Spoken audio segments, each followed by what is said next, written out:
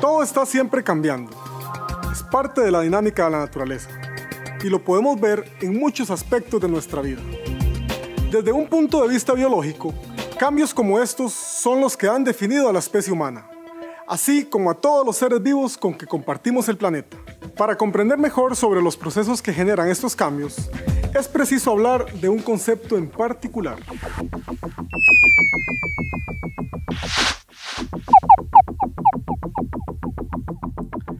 Hola, soy Cedric Ureña, su profesor de biología.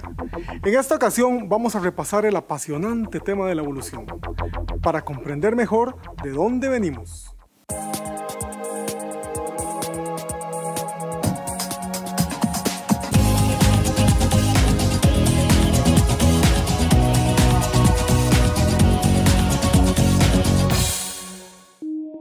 La evolución es la rama de la biología que estudia los cambios que han originado la diversidad de los seres vivientes en la Tierra, desde sus orígenes hasta el presente. Este señor es Charles Darwin, a quien se le conoce como el padre de la evolución, pues es el responsable de muchos aportes en esta área, principalmente porque explica cómo se da este proceso mediante la selección natural. Para comprender mejor la evolución hay que referirse a varios mecanismos y fuerzas que la propician.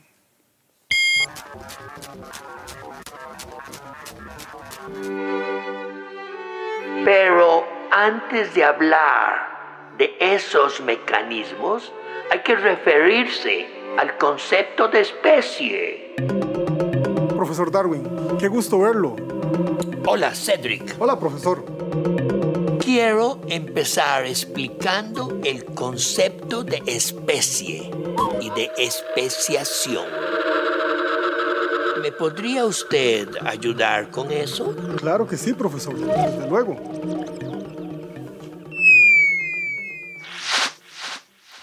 Las especies son poblaciones naturales.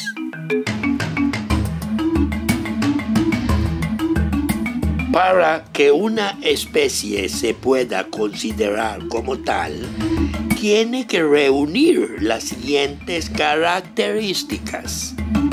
1. Compartir una serie de rasgos distintivos y similares. 2. Ser capaces de reproducirse entre sí de forma efectiva o potencial. 3. Tener descendencia fértil, o sea que sus hijos también deben ser capaces de reproducirse.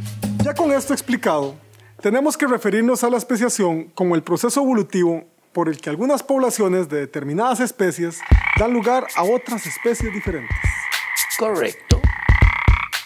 Cabe resaltar que la especiación es un proceso evolutivo que se da en el tiempo y que son los mecanismos los que la determinan.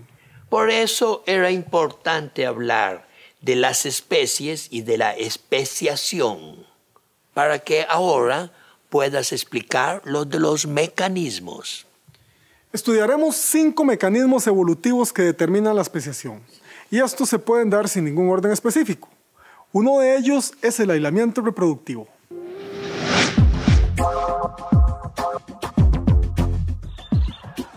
El aislamiento reproductivo se da cuando las especies de una población no se pueden reproducir entre sí, debido a distintos tipos de barreras que pueden ser anatómicas, conductuales, geográficas, entre otras. Por ejemplo, en el caso de estos simpáticos pinzones que quedaron separados, teniendo cada uno que adaptarse a las condiciones de cada lugar para sobrevivir. Cada grupo evolucionó de manera diferente y con el tiempo los acervos genéticos variaron tanto que sus descendientes ya no pueden reproducirse con individuos del otro grupo de pinzones. Otro mecanismo evolutivo importante es la competencia.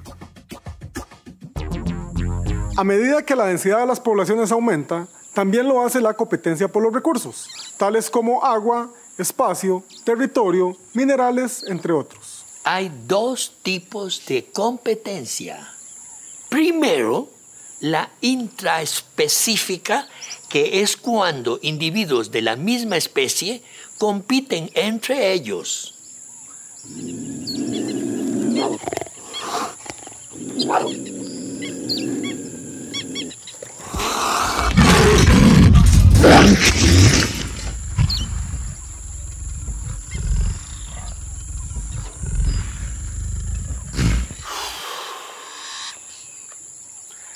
El otro tipo de competencia es la interespecífica, que es la que se da entre dos especies diferentes cuando compiten por las mejores condiciones para sobrevivir. Ok.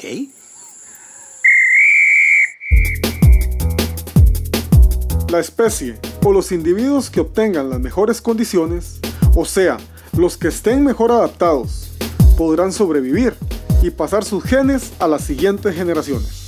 El otro mecanismo evolutivo que vamos a explicar se llama radiación adaptativa.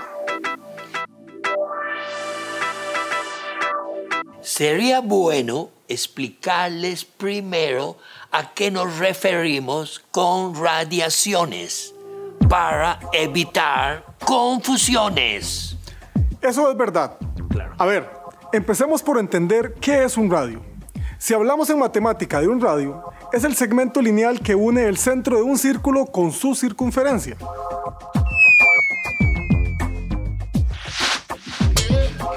Perfecto.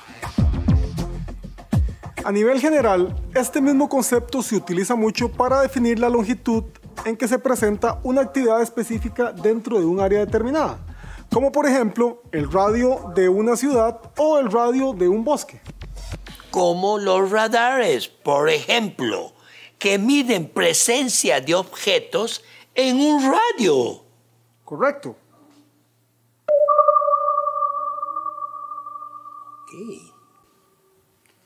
Así que en este caso, a lo que nos referimos como radiación adaptativa es a las especies que están distribuidas en un radio de influencia en un centro evolutivo, respondiendo a sus diferentes condiciones ambientales. Perfecto es la evolución de distintas especies, a partir de una o pocas especies ancestrales, en un periodo determinado de tiempo.